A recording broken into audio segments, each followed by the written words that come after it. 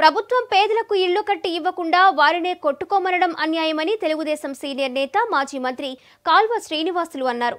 ఇప్పుడున్న పరిస్థితుల్లో పేదలు మధ్యతరగతి వర్గాల వారు బతకడమే కష్టంగా ఉందని అన్నారు.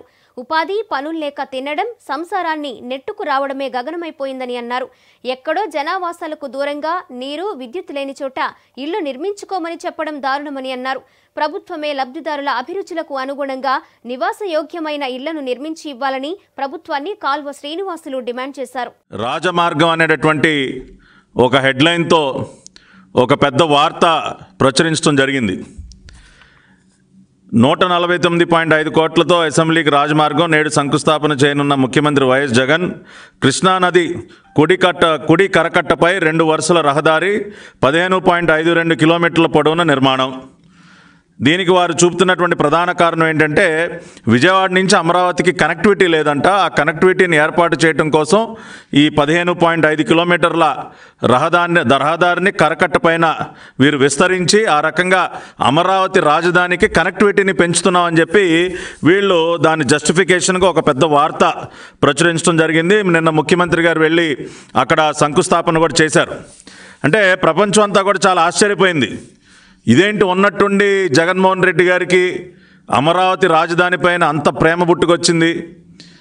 నిన్నటి నిన్నటి వరకు అమరావతి రాజధాని ఒక శ్మశానం ఒక ఎడారి ఎందుకు పనికిరానటువంటి ప్రాంతం ముంపుకు గురయ్యేటటువంటి ప్రాంతం ఈ విధంగా రకరకాలుగా అమరావతి రాజధాని పైన బురద జల్లి నేడు అకస్మాత్తుగా జగన్మోహన్ రెడ్డి గారికి ఎందుకు ఇంత ప్రేమ పుట్టుకొచ్చిందన్న ప్రశ్నకి సమాధానం దొరక్క నాకు తెలిసి ప్రపంచం మొత్తం కూడా వాళ్ళు ఎదురు చూస్తున్నారు. ఏం కారణమై ఉంటుంది? ఒకవేళ ఏమన్నా జగన్మోహన్ రెడ్డి గారు అర్ధరాత్రి సమావేశాల్లో ఏమన్నా కొత్తగా ఆయనకి కానీ ప్రతిపాదన ఏమన్నా వచ్చిందా? ఈ మధ్య ఏదో చాలా కథనాలు వింటూ ఉన్నాం కదా ఈయన అర్ధరాత్రి సమావేశాల గురించి. ఈ లోకంలో లేని వారందరితో కూడా ఈయన మాట్లాడుతూ ఉన్నాడండి. మరి అటువంటి సమావేశాల్లో ఏమన్నా ఈ ప్రతిపాదన ఏమన్నా వచ్చిందా? అసలు ఏంటి కారణం అని చెప్పి ఎందుకంటే సాధారణంగా నాకు తెలిసి జగన్మోహన్ రెడ్డి గారు మనందరం చూస్తున్నాం ఎప్పుడు ఇక్కడి నుంచి బిచాణ ఎత్తేసి విశాఖపట్నం వెళ్దామా? అక్కడ ఎందుకంటే ఈయన గారి ఆత్మ ఏటు విజయసాయిరెడ్డి అక్కడ బ్రహ్మాండంగా బ- భూ దందా చాలా చక్కగా చేస్తూ ఉన్నాడు. వేల ఎకరాలు కబ్జా చేస్తూ ఉన్నాడు. జగన్మోహన్ రెడ్డి గారికి నచ్చిన విధంగా అక్కడ తన కంటపడినటువంటి ప్రతి ఒక్క భూమిని కూడా మింగేస్తూ ఉన్నాడు. సింహాచలం దేవస్థానం భూములు కానివ్వండి మాన్సాస్ ట్రస్ట్ భూములు కానివ్వండి ఇట్లా రకరకాలుగా చక్కగా వీళ్ళ వ్యాపారం బాగా సాగుతూ ఉంది విశాఖపట్నంలో.